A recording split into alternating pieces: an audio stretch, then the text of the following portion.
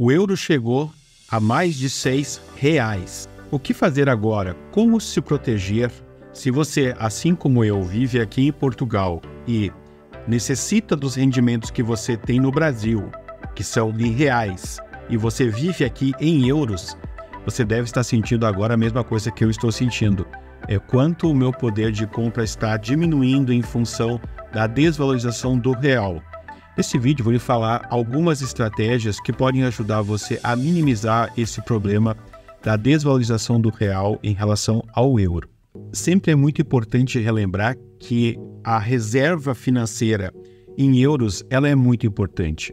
Nos momentos em que o câmbio ele fica bastante desfavorável para quem está aqui em Portugal ou na Europa e precisa trazer o dinheiro do Brasil, é importantíssimo que você tenha uma reserva financeira aqui para que você possa aos poucos se adequar a essa mudança cambial ou talvez minimizar os impactos que ela tem. Então, você tendo uma reserva aqui na Europa em euros, você vai minimizar a necessidade de trazer reais a todo momento para cá. O câmbio ele vai flutuar durante as semanas, então em algum momento ele vai chegar num topo, né? E vai que você tem azar que o dia que ele está o valor mais alto é o dia que você precisa realmente trazer dinheiro aqui para Portugal ou para Europa. Então, tem essa reserva financeira para que você possa fazer aportes e trazer o dinheiro com mais tranquilidade. A segunda questão, além da reserva financeira em euros, é que você pode também trazer esse dinheiro para cá a partir de criptomoedas que possam se valorizar com o tempo.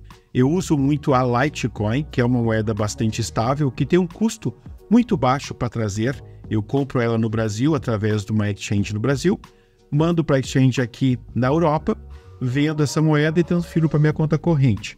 Isso parece ser uma coisa muito complicada, mas na verdade, depois que você aprende a fazer isso, não é.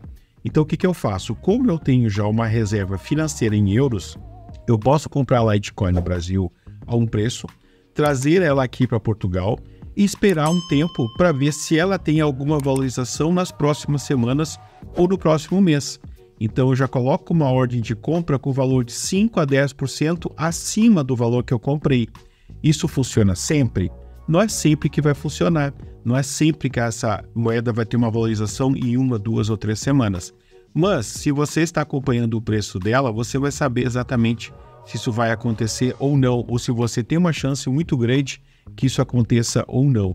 Eu faço isso praticamente todos os meses. Eu trago Litecoin do Brasil aqui para a Europa e coloco ordens de venda que normalmente eu consigo vender o preço um pouco maior, 5 a 10%, eu coloco uma ordem a 5% e uma ordem a 10%.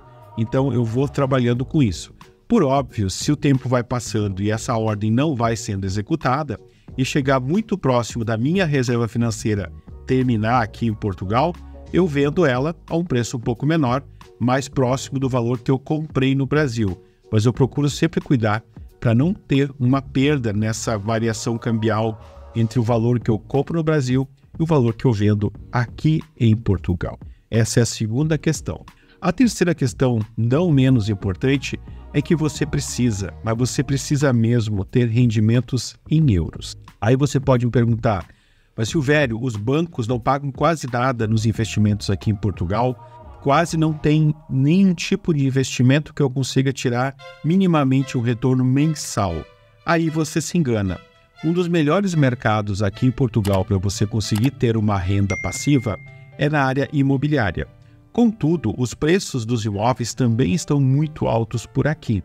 Para isso, eu e mais um grupo de investidores começamos a fazer investimentos em imóveis aqui em Portugal, em regiões onde os preços ainda estão um pouco melhores, não está tão caro assim e a relação entre o valor de compra do imóvel e o valor do arrendamento ainda está muito bom. Mas nós compramos imóveis que precisam bastante trabalho, que precisam ser remodelados, reestruturados, precisam se fazer a parte elétrica, hidráulica, esgoto e tudo mais.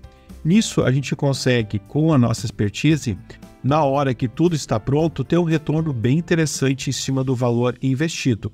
Então, nós temos uma plataforma onde nós investimos mesmos, nossos os sócios, e outras pessoas que querem contribuir e trabalhar junto conosco compram cotas e também têm rendimentos mensais. É a renda cripto real. Vou deixar aqui embaixo na descrição do vídeo o site da plataforma. Essa plataforma ela não está sendo feita para criar um ecossistema muito grande com milhares de pessoas participando. Nós queremos que as pessoas mais próximas de nós e as pessoas que confiam no trabalho que nós estamos fazendo possam ter um retorno significativo dos seus investimentos aqui em Portugal. Hoje, nós temos dois, um imóvel que já está pronto, entregue, gerando renda, dois outros que vão ser entregues agora nas próximas semanas, talvez no mês, um mês e meio, e mais dois outros imóveis que estão já dentro do cronograma para ficarem prontos até o final do ano. Então, nós estamos conseguindo um rendimento a partir de 7% ao ano, que é pago mensalmente. Só tem um detalhe: para você poder fazer esse investimento, você tem que entender um pouquinho de criptomoedas. É, você precisa entender o que é uma carteira digital. Você precisa ter uma carteira digital, ela pode ser uma carteira feita a partir um aplicativo como o Coinome ou o Trust, ou você pode ter uma hard wallet que nem a Trezor, a Ledger, a OneKey ou outra que são bastante seguras, mas elas têm um valor um custo para você ter essa carteira que é uma hard wallet. Mas entre na plataforma que você vai saber exatamente como tudo isso funciona. Os grandes investidores, por enquanto, somos nós, os quatro sócios, os meus filhos e as pessoas mais próximas de nós que confiam muito no trabalho que nós estamos fazendo aqui em Portugal.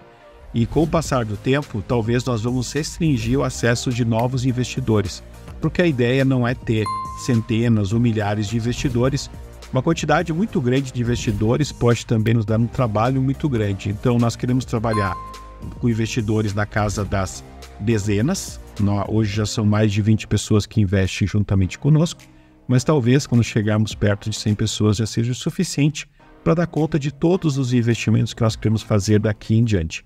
Nós não vamos investir somente em mercado de imóveis, vamos investir também na parte de energia solar, de energia renovável.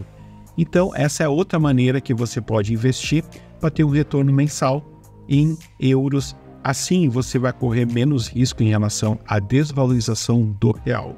Outra maneira que você pode também fazer a partir aqui da Europa é a partir de exchanges aqui como a DeGiro ou o próprio Banco Millennium e outros brokers comprar alguns REITs dos Estados Unidos, que também tem um rendimento relativamente bom em relação ao dinheiro investido. Existem fundos lá que dão 3, 4, 5, 6% de retorno. Tem alguns fundos de papel que trabalham com mortgage, que trabalham com empréstimos na área imobiliária, que pode chegar a dar até um pouco mais que isso, 8 ou 9%. Certo?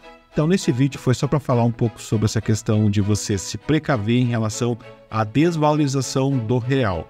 A expectativa que eu tenho é que o real ele continue se desvalorizando bastante, por uma questão inflacionária simples e a quantidade de reais que estão sendo impressos, e provavelmente em 2025 ele possa chegar na casa dos R$ reais um euro, ok? Dê uma olhada lá na plataforma e veja outras maneiras que você pode fazer para se proteger em relação à desvalorização do real frente ao euro aqui em Portugal. Obrigado, pessoal. Um grande abraço. Vou deixar aqui também a sugestão de dois outros vídeos muito importantes para quem está vivendo aqui em Portugal.